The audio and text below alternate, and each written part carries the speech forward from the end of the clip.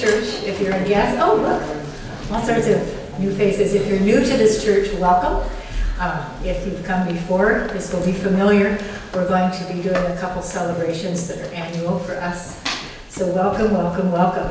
Uh, we have a couple of quick announcements, so let's do those. Hi, I'm Lucy Sparklose. I'm the head deacon, and we will be welcoming new members on June 2nd. Could the deacons please stand up? So uh, if you're interested in joining the church, you could speak to me or any of the people standing here, or Lisa, and take a red folder from the back of the church. Thank you. Good morning. I'm Connie Green. I'm the vice chair of the pastor search committee. I love being the vice of something in the church. We're holding focus groups starting this week to gather your visions for the Guilford Community Church to help us give an accurate portrayal of our church for the profile. The profile is a document posted on the UCC website for prospective pastors. We hope everyone will sign up for one meeting.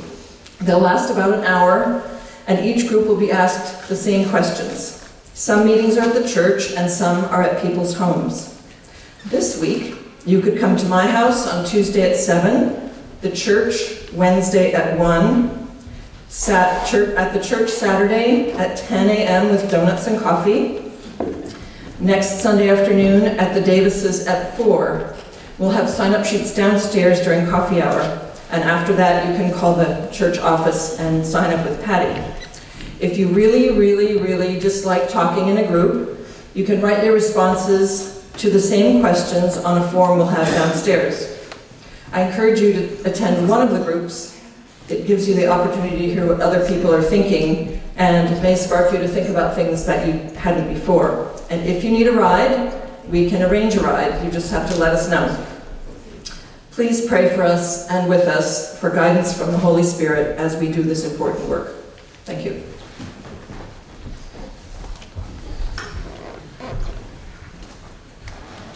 Good morning. I'm Elizabeth Christie, and I'm the head of our plan giving effort.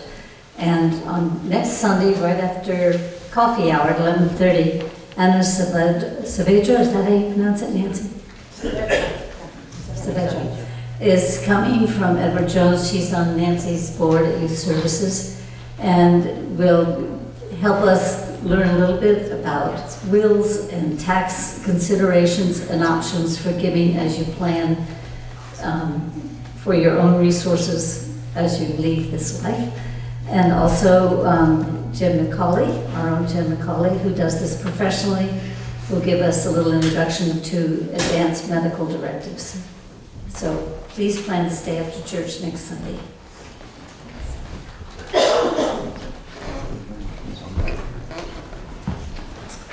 I'm Nancy Leach, co-chair of the Pie Sale that's coming up. Um, on our holiday weekend, and I just wanted to remind people that there's sign-ups in the back and down at coffee hour, both for ingredients donations and also for signing up to help for a couple hours. Thursday evening, the 23rd of May, Friday all day, we're gonna have uh, different teams and you can come for um, a couple hours or come for many more. Um, Saturday, we're selling the pies, hope you'll buy some pies then and um, we can use people uh, doing the selling too. So come out, it's a fun event to be part of.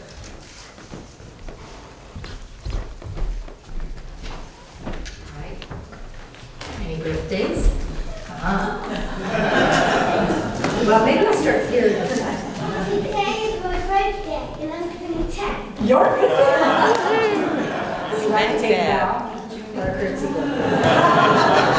So Judy's turning 10. Did you hear that? And she's here. Evan? Evan? Uh, this uh, Thursday, my brother and my brother and his uh, sister-in-law's birthday is Thursday. That's why uh, 16 is my sister brother and Richard's birthday. Sister-in-law and brother's birthday on the same day. Yeah. On Thursday. Yeah. Got it. Thanks. Okay, Riley. Um, I turned 12 on May 2nd. Oh, okay, so you're here present. and my Grammy turn, uh, turns me, uh, I mean, uh, my Grammy's birthday. Um, is We're not talking about how old you're. um, the 15th. The 15th. So yours was the second and Grammy's is the 15th. Yes, Krista. My papa's 82nd birthday. Ah, Don, 82 this week. There's a whole row here, you guys. Um, Yes, sure. My, my parents, Merrill and Betty Spiller, wedding, 65th wedding anniversary is this Wednesday. Oh, congratulations. 65 years of wedded bliss, we hope. Sorry, I got myself going. Jill? Tuesday is Tammy's birthday. Oh, Tammy. Oh, we have all sorts of people. Yes, Ben? My uncle Doug's birthday is going to be on the Your Uncle Doug on the 15th, okay. Yes, Kristen. Oh, Connie. My mother's birthday is tomorrow, And she will be 96. Her mother will be 96. I wanted to also, when we were singing, it's not really a birthday, but did you notice the red tulips out front? Yes. So I don't know how many of you were here, but we planted tulips um, in memory of, basically, of of Nancy Miller and of Judith Kinley and of Mother Linda King. Uh, And they're all blooming for Mother's Day, which I think is really wonderful. So we're thinking especially of them, mothers to the church. All right, let's sing. Yeah.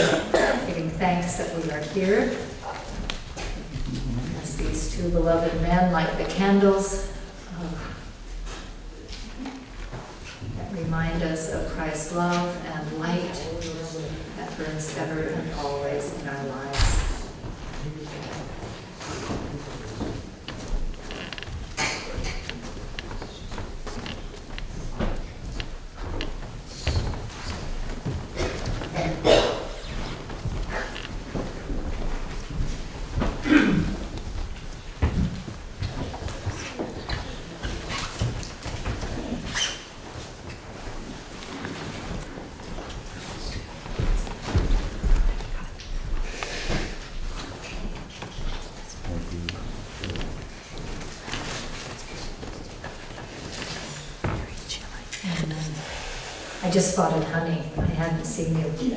Honey's back. She's been at school for a year. You want to stand up and let us love you?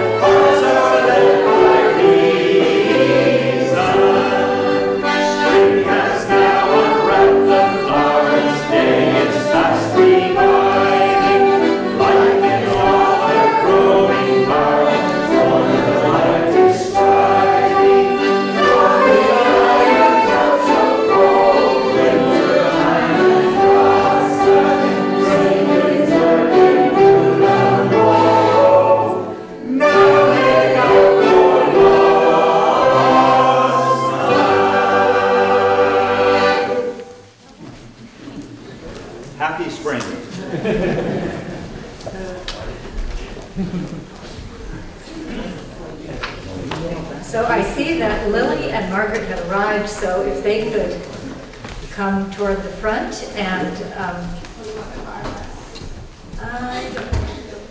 uh, sure, we could have Syria. Choir, could you just stay up? Sorry, it's a little late, but, and then Larry, if you could come up. I'll give you the, we have late breaking news today, not in the bulletin.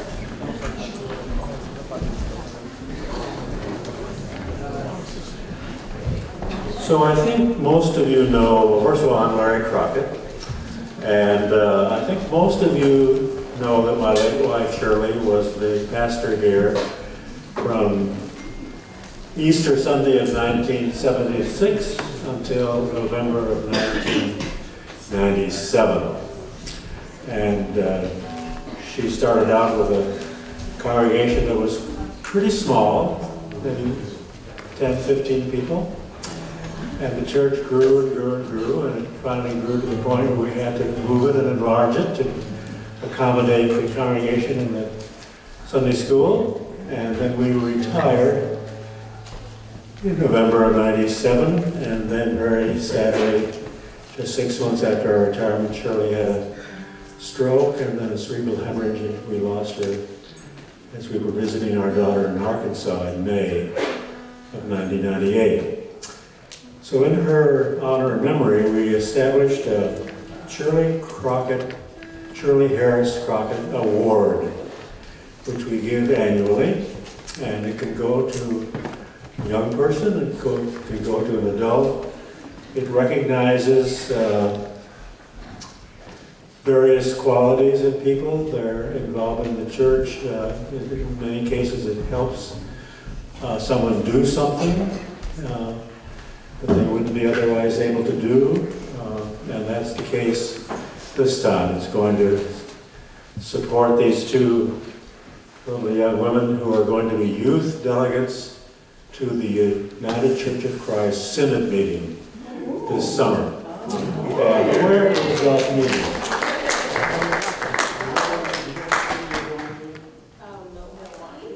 Milwaukee. So, my pleasure to give a certificate uh, to each of these young women, and then they will, I presume, get a check at some point. So this just reads, this certifies that Lily Quintero or Margaret Holland was granted the Shirley Harris Crockett Award on Sunday, May 12, 2019, to support her being a delegate to the UCC Synod 2019. So, I'm, I have to, where is it? Okay, so that's for you.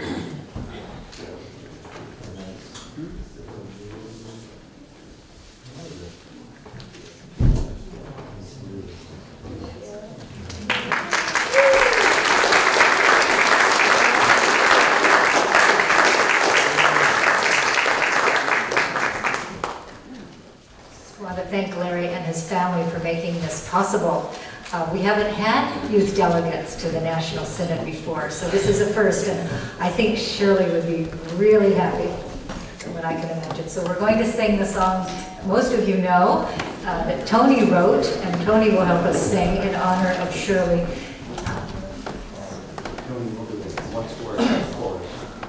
Okay.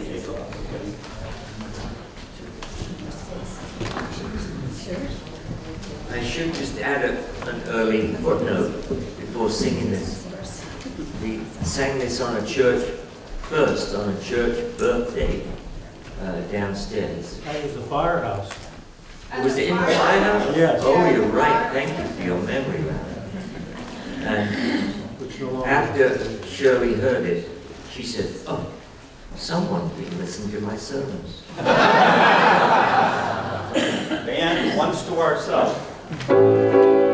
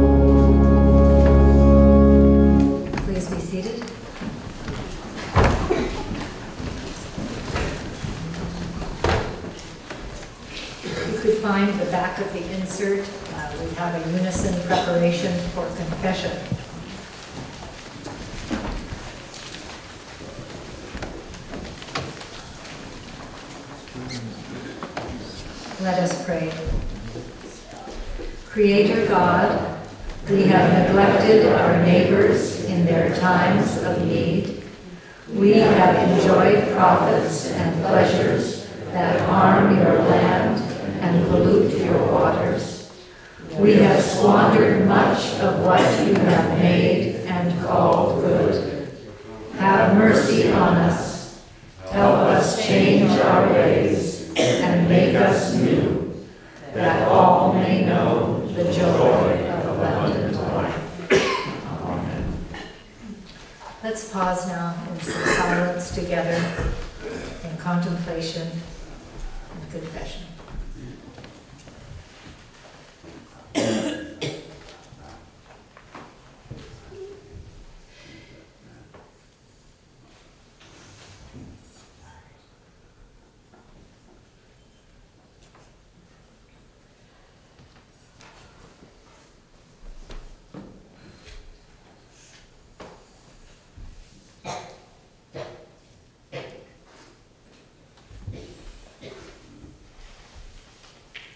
Amen.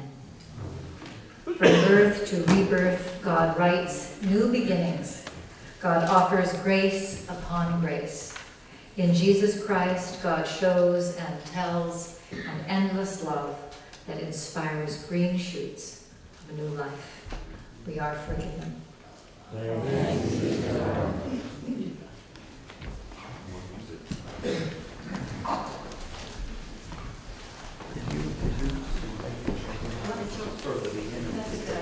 All right, children, we need your help for this song. You probably know it already, but it's an important. So any children, please come forward.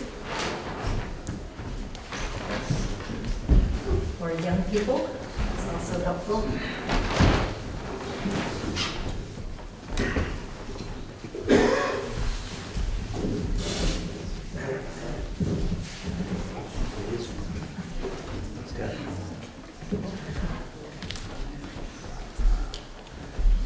I tried to find a brown bag. This was the best I could do. It's not plastic. Whoa. No. So I wanted to ask you kids what this made you. Just close your eyes for a minute and tell me what you think this feels like.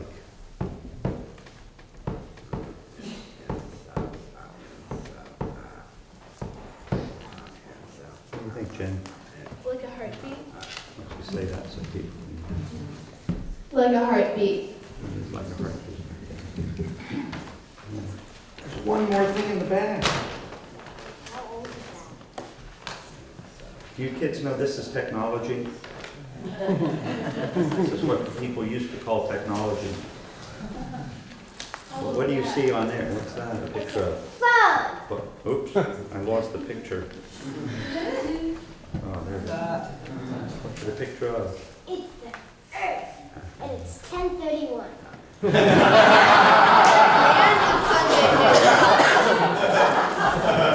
There you go. The Earth. All right.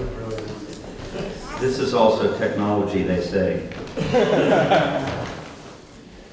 All right, So if you kids know this, you can all join in. It's very participatory. The earth our mother. We must take care of her. The earth is our mother. We must take care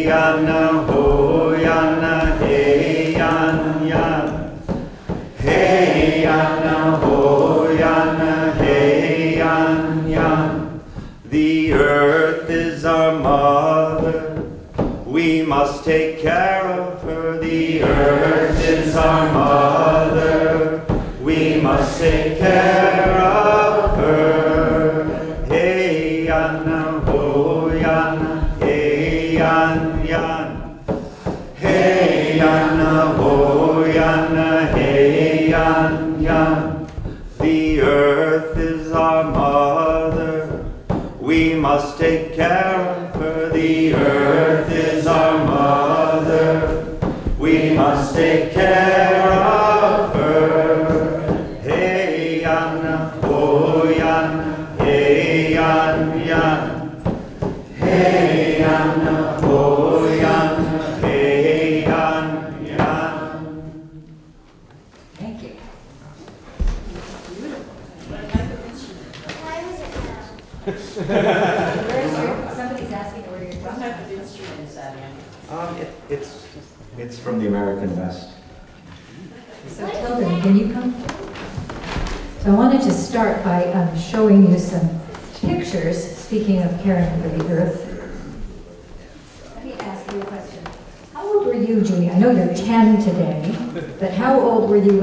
first started coming to the church? Seven. And Oh my gosh. And Lila, how old? I was a baby. You were not, I was- even came before you were Yeah. So she's been coming a whole long life. And how about you, Jen? Do you remember? No idea. I know they were like one, right? Less. Less than one, yeah, just ti- tiny, tiny. And Attica, that means Atticus, the answer would be the same, right? All right. So look at, I want to show you a picture of someone else who came to the church. And not you. See, that's a little girl. How old do you think she is? Like older now. But how old is she in the picture? Because people can't see it. So Six maybe or six? seven. Maybe Can I see six, a is that guess? right? Six-ish? And then how old do you think? This is that same girl. I'll show you. And here's another picture. So Jen and Lila, how old do you think the same girl is here? Um, maybe thirteen. Thirteen or twelve? Yeah. You know because she's permitted to light the candles, right? So she has to be pretty old. Yeah, twelve or thirteen. Yeah. Maybe eleven. And here's the same girl. Can I see? How old do you think she is? Grown up? What's grown up to you? Um, the age of eighteen? Like 40? no,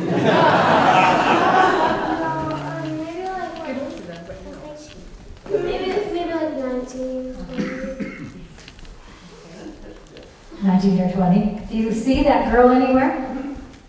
Ah!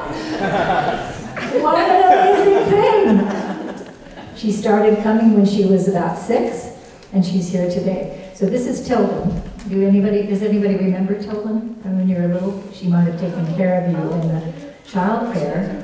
I, I've heard stories about this. So legendary children. Yeah. Hopefully good one. Yes, she's a legendary, she's a legend in her own time. And she's a little tired today because she's come a very long way. Tilden, where have you, Honey's come a long way, but Utah. Tilden has come even further, what? From Utah. A little farther than that. Yes. Wisconsin. So Tilden, where did you come from on Tuesday, right? And today's Sunday. So I came from Ecuador on Tuesday. Ecuador. Do you know where Ecuador is? It is in South America. Well, That's pretty far. Can you, Igloos come from. I think. Does it border on Venezuela? Oh no, no. Close, South almost. America. Ben knows everything. It's, I mean, it is essential. It's what? No, no, no. Is it above Peru? Is it above Peru? That's the right answer. It's near Venezuela, yeah. So Tilden was going to tell us about children in Ecuador, and one thing that she did this year that was pretty amazing. Now, one thing is that she did grow up in the church, but she also got some practice helping other people. She, you guys have made some overflow shelter meals, and she's, she did that. She also traveled to St. Croix, and she traveled to Kenya to start learning how to, what? Did I forget something? And so she's now doing something on her own. So, but I wanted to have you just tell about these three little girls. You all want to look at this picture. All right, so these three little girls, one's five, one's six, one's seven. They're all part of a house of 11 people.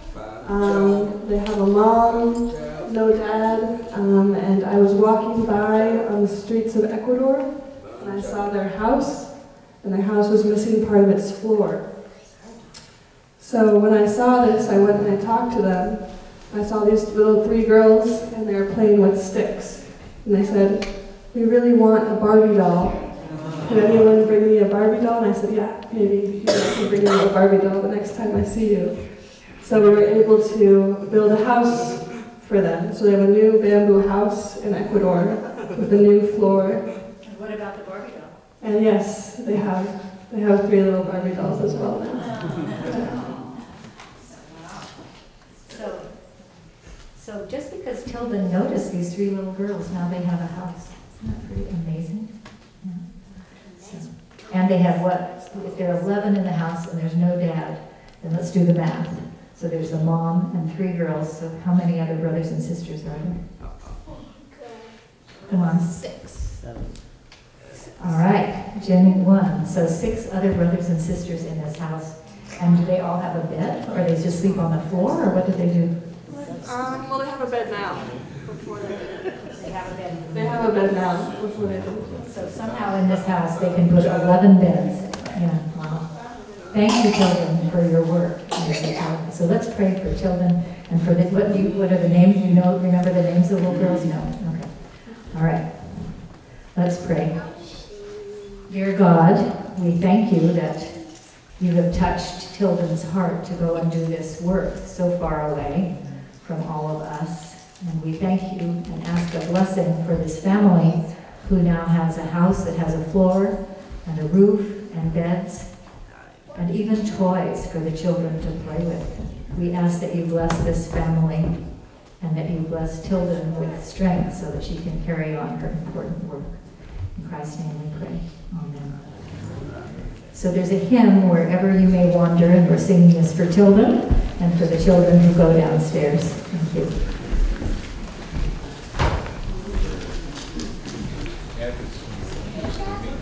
The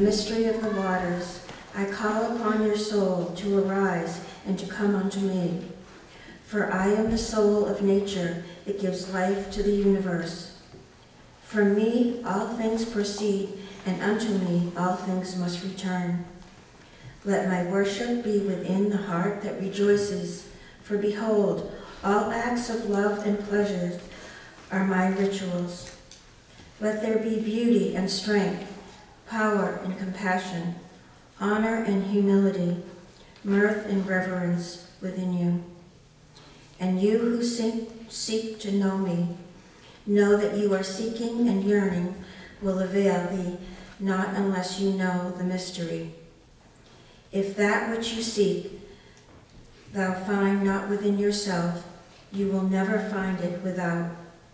For behold, I have been with you from the beginning, and I am that which is attained at the end of desire. The scripture today is from Genesis 21, verses 1 through 21. Now the Lord was gracious to Sarah, as he had said, and the Lord did for Sarah what he had promised. Sarah became pregnant and bore a son to Abraham in his old age, at the very time God had promised him. Abraham gave the name Isaac to the son Sarah bore him. And when his son Isaac was eight days old, Abraham circumcised him, and God commanded him, as God commanded him. Abraham was a hundred years old when his son Isaac was born to him. Sarah said, God has brought me laughter, and everyone who hears about this will laugh with me. And she added, Who would have said to Abraham that Sarah would nurse children? Yet I have borne him a son in his old age. The child grew and was weaned, and on the day Isaac was weaned, Abraham held a great feast. But Sarah saw that the son whom Hagar the Egyptian had borne to Abraham was mocking. And she said to Abraham, Get rid of that slave woman and her son, for that woman's son will never share in the inheritance with my son Isaac. The matter distressed Abraham greatly because it concerned his son. But God said to him, Do not be so distressed about the boy and your slave woman. Listen to whatever Sarah tells you, because it is through Isaac that your offspring will be reckoned. I will make the son of the slave into a nation also, because he is your offspring. Early the next morning, Abraham took some food and a skin of water and gave them to Hagar. He set them on his shoulders and then set her off with the boy. She went on her way and wandered through the desert of Beersheba, and when the water in the skin was gone, she put the boy under one of the bushes. Then she went off and sat down by a bow shot away, for she thought, I cannot watch the boy die. And as she sat there, she began to sob. God heard the boy crying, and the angel of God called to Hagar from the heaven and said to her, What is the matter, Hagar? Do not be afraid. God has heard the boy's crying as he lies there. Lift the boy up and take him by hand, for I will make him into a great nation. Then God opened her eyes, and she saw a well of water. So she went and she filled the skin with water and gave the boy a drink. God was with the boy as he grew up. He lived in the desert and became an archer. While he was living in the desert of Paran, his mother got a wife for him from Egypt. May God add a blessing to the reading of this word.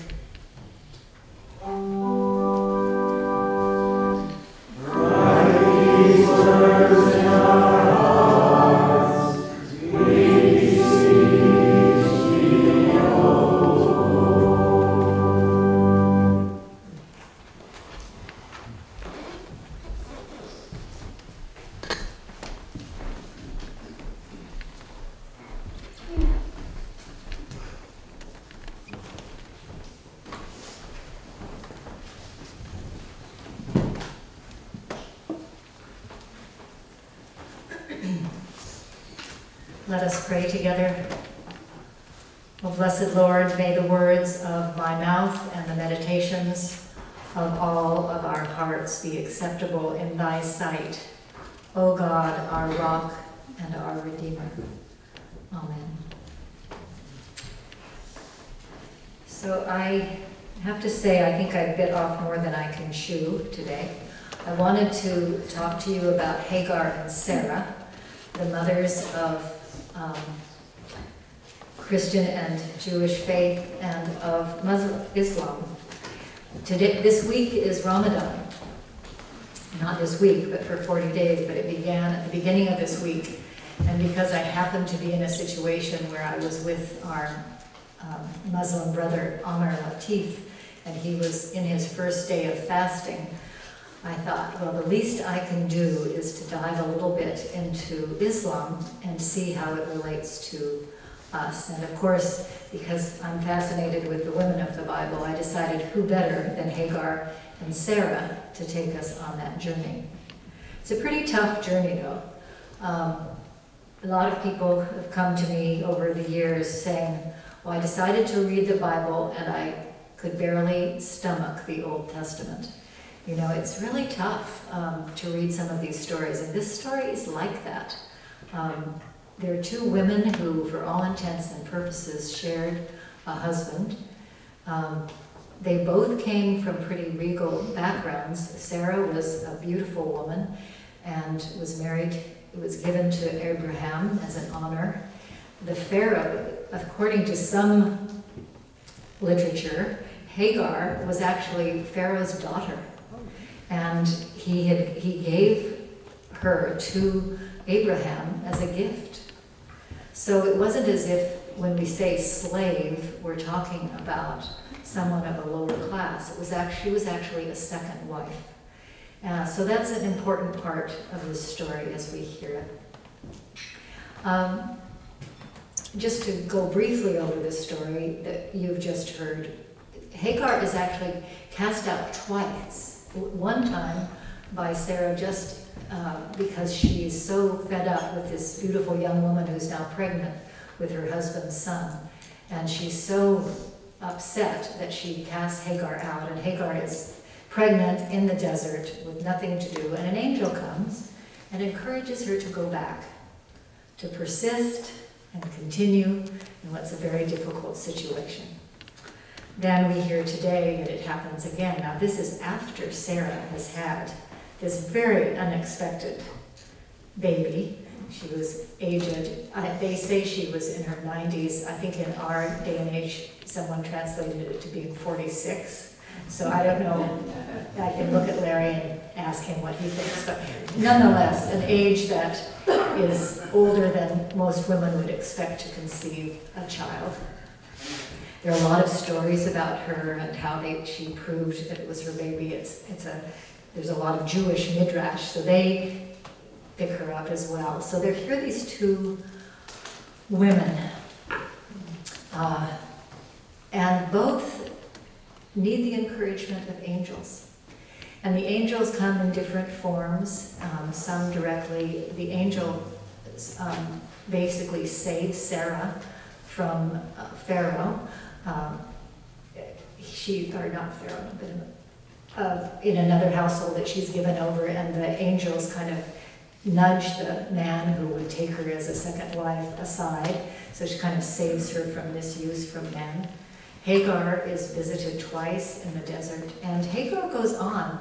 And for those of you who don't know, after this story of finding the water, um, she does this in the in the in the discovery of the water. She she runs back and forth seven times to what's now Mecca, and that running back seven times before she finds the well is now what people who go to Mecca do. They run back, they run around the Kaaba seven times. And that's in honor of Hagar.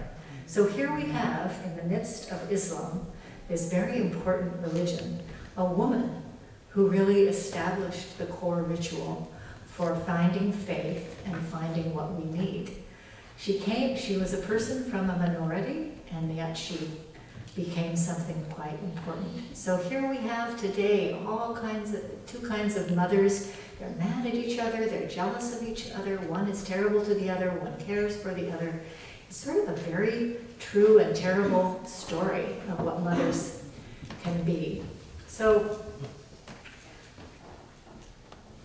I wanted to, the image that I wanted to give you, and I'm not sure if this is helpful or not, is that this morning as I was trying to make meaning for you, I decided to um, go start getting ready for coming, and I've realized that my um, soap, there was a nice big piece of soap, and then there was a little teeny piece of soap. I don't know if you ever have that where you kind of want them to stick together. I'm the, I'm the generation where you don't waste soap. So I was trying to get them to stick together. And just as I was thinking of that, this little crumb of a soap and this bigger one, all of a sudden it opened me to so many memories of soap. And my primary memory, besides my grandmother telling me not to waste the soap, and I want to get you to tell me some soap memories, was of uh, Uganda when I was working there and I had a very small child and they had just had a terrible genocide. There were very few men left, so the women in the village needed to um, try to remember how to do some of the things they'd done before. And one was to make soap. Now, how many of you know what goes into soap? Anybody? No? Okay, tell 'em. Fat and lye? Fat and lye. So in the context of Uganda, this is in a village, where would you get fat? Animals. So sheep fat. So one of the things that I never knew is that sheep originally have very fat tails. So you can actually, excuse me for being sort of biblical, but you can cut off the tail of a sheep and the sheep is still okay and you get quite a bit of fat. So they were able to get fat. And then where would you get lye? Ash. So out of the ashes and out of the animal, you put them together, and what more thing do you need? Heat and water, yeah, heat and water. So the heat. So it's sort of out of the ashes and out of the oil, with the heat of love comes the soap. Mm-hmm. So, yeah, yeah. And then you have soap to wash things. Does anybody else have a kind of grandmotherly or some kind of, now, of course, here, in this day and age, what else do we put in besides? Fragrance. Fragrance, right. And the fragrance from flowers or something like that. Yes? My, my children, years ago, Wait, wait, wait, wait. asked me. Wait, wait, wait.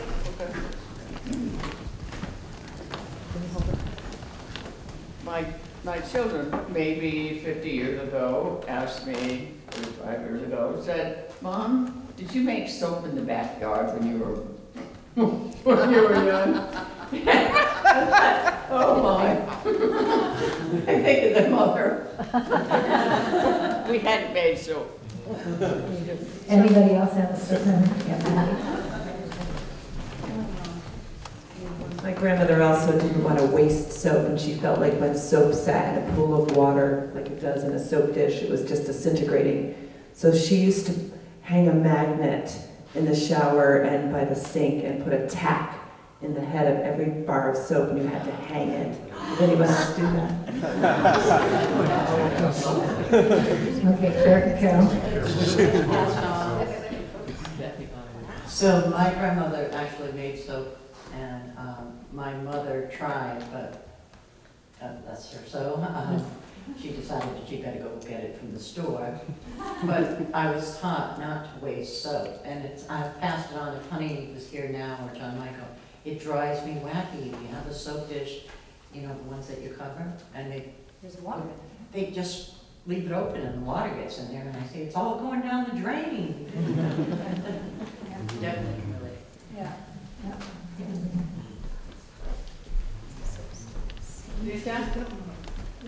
okay.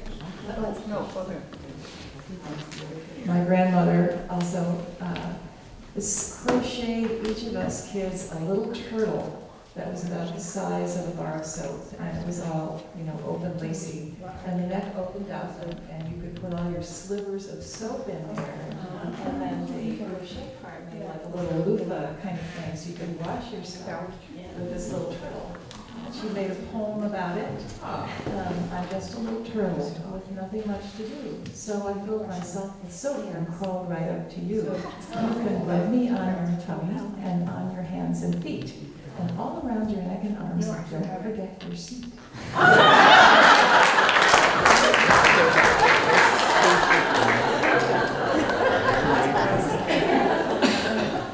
How clever. My, both of my grandmothers did the same thing, except not in the shape of a frog. It was just a bag hanging there. And, oh my goodness, it was a mortal sin in our family to waste that soap, to take it outside and play with it. Ooh, I did that one time, got my bottom tan. I'm dishcloth. Who knew there were this many ways? Raise your hand. Okay, John. You know, during the war, my grandmother also made soap, and I still have it, and I still use it. It's called Grandma's Lye Soap. And I have probably almost a cubic foot of it, and I chop off a piece, use it down the run. This stuff is great, and it cleans better than the stuff you buy at the store. It's a really interesting uh, soap story. That's what's down to Lucy. Mary wanted to say something. They, they, you could buy a, a metal thing that with a, you know, that opened them shut. Put your bits of soap in it and flush that to wash your dishes. Oh. Yeah, with the, with the bits of soap, you put, to make the dishwasher soapy with the bits of whatever soap you have. That was during the war. I was gonna say that we lost. Yeah. We Lost all these stories. You have a soap story? Uh, yeah. Okay.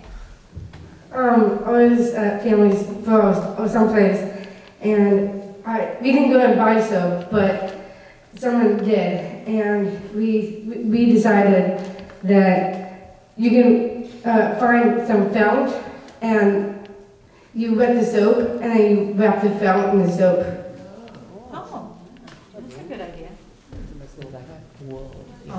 Yeah. Yeah. And when you wash your hands, the soap goes through the film. Yeah. So as I, you know, as I looked back on Uganda and realizing that after this war, what it was to have soap again, you know, when you, to be able to take ashes and to take something at hand and to create something that you could wash your entire body with. And I felt like, for some reason, to have that be the first thing we paid attention to after the war seemed so important. Um, and I think I, I, I hear all of you, I just appreciate all these stories as we start thinking of the trials of people and how they made their soap and all the women through the years, bathing their babies and their families and uh, in all kinds of situations. Um, I think of Tilden, um, find, just walking down the street, you know, there's a story in Genesis, right, that we're talking about how the angels come to visit Abraham and Sarah. And I wonder if those children will think back and think that maybe an angel visited them and brought them a house, you know. So just the work of God that takes so many forms, sometimes as simple as putting two things together that you would never think of, sometimes people coming unexpectedly into our lives. I'd encourage you to forgive all the women who've been nasty to each other for different reasons, and to be compassionate for women who suffer so. All these women are wrapped together uh, in this world of trial, and yet it's such a beautiful world as well. So that's not a great sermon, but I think it does bring um, bring us to the truth of mothers, and I hope you got a little taste of Hagar. I'd like to really encourage you um, to think of the women, the Muslim women who are going without food, but who have to get up. If the men get up to eat at 4.30 in the morning so that they can make their fast, And what time do the women need to get up? Mm-hmm. Early enough, and then they have to stay up later too. So let's pray. Let's pray for mothers in lavish households whose children are far away, engaged in lives of their own. For women without children who by choice or tragic circumstance hmm. cringe today as others celebrate. For women with children who struggle to make ends meet, to do what they can, and women beyond struggling whose lives have fallen apart because of tragedy. Help us each be compassionate toward e- towards each other, no matter how we perceive the other. Help us remember and listen for the angels that might help us walk through our next trial. In Christ's name we pray. Amen.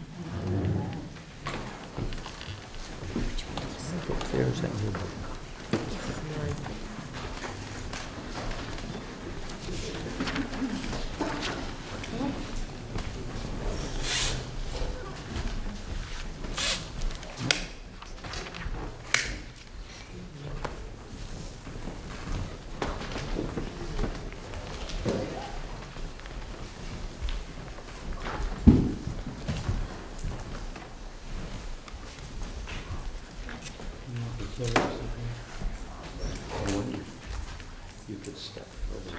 Oh, step forward. Or you could just step. Whatever you wish.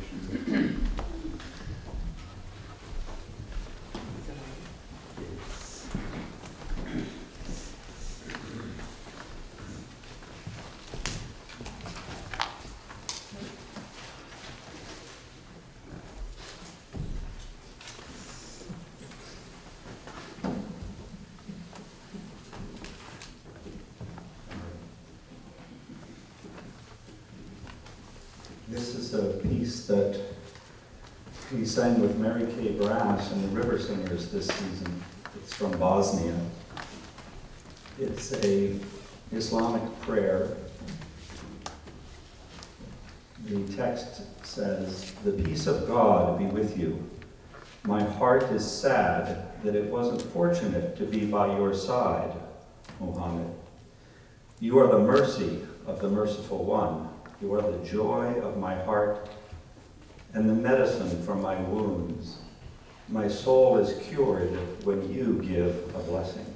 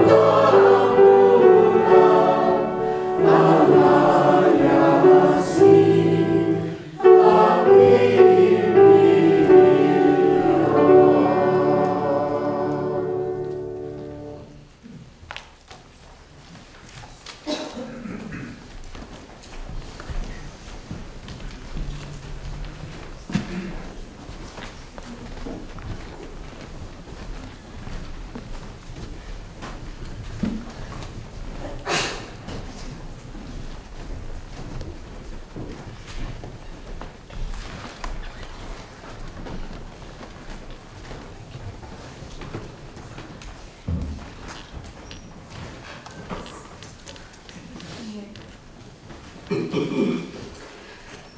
of the people, Mother's Day. Holy One, we gather in your presence to give you thanks and to celebrate the gift of your love. A love that supports, nurtures, and challenges us in ways that strengthen and transform us. We offer you praise and thanksgiving for your unfailing presence in our lives and all of the blessings that you so generously offer us. Today, as we celebrate Mother's Day, we give thanks for mothers the world over. We give thanks for all those who have nurtured and cared for us. We remember especially birth mothers, adoptive mothers, surrogate mothers, aunts, grandmothers, teachers, neighbors, and all women who have shared their faith with us. We pray, compassionate God, for those mothers who have been hurt, disillusioned, or disappointed in their role as mother. We pray for those who have been denied a longed for chance at new motherhood. And for those whose years of mothering have been cut short by the loss of a child. We lift up before you, O God, the members of our human family around the world. For those who are afflicted or suffering at this time. For those who need healing. For those who require bread or shelter. For those who live in violent homes and communities. For those who are grieving. And for those who need are known to you alone. We remember Shirley Crockett and Marion Houghton, Beck Hunter and Alla Pega, Paula Richardson and Grace Blum, Judith Kinley and Nancy Miller, and the woman who nurtured this church.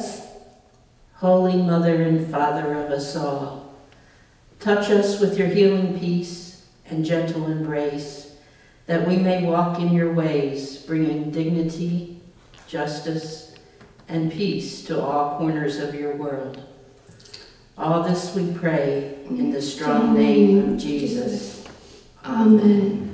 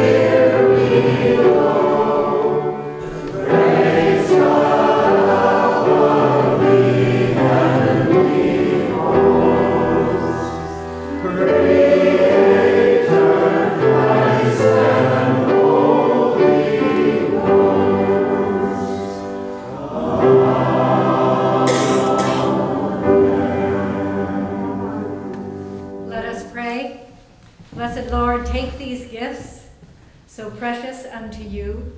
Precious are your children, precious are the mothers and fathers of this world. In Christ's name we pray. Amen. Let's pass the peace of God.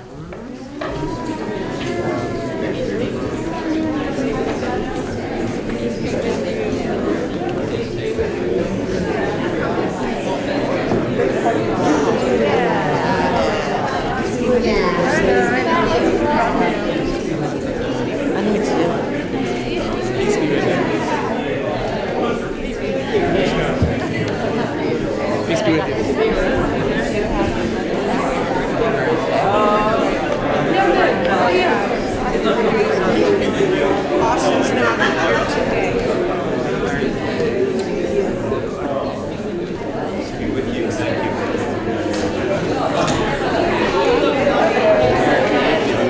All right, hymn 238.